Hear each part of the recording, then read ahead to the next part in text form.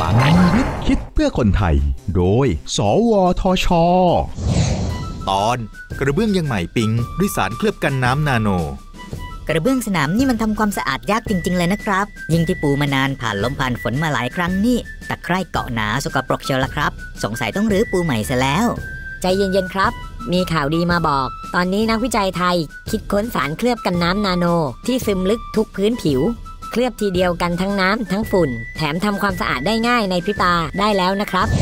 นักวิจัย สวทช พัฒนาสารเคลือบกันน้ำจากอนุภาคนาโน ของโลหะออกไซด์ที่มีขนาดอนุภาคน้อยกว่า 30 นาโนเมตร ละลายอยู่ในตัวทำละลายชนิดโปร่งแสง จึงแทรกซึมเข้าไปในพื้นผิวที่มีรูพรุนของวัสดุต่างๆ ได้ดี ใช้พ่นหรือจุ่มเคลือบพื้นผิววัสดุได้ด้วยเวลาเพียง 30 นาที โดยที่ไม่ทำให้พื้นผิวเดิมของวัสดุเปลี่ยนไป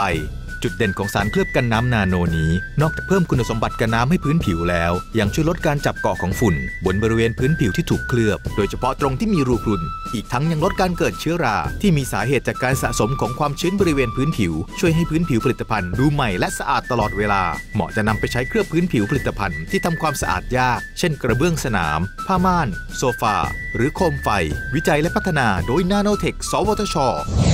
พัฒนาคนด้วยวิทยาศาสตร์ พัฒนาชาติด้วยเทคโนโลยี สอบถามรายละเอียดเพิ่มเติมได้ที่ สวทช 02 564 8000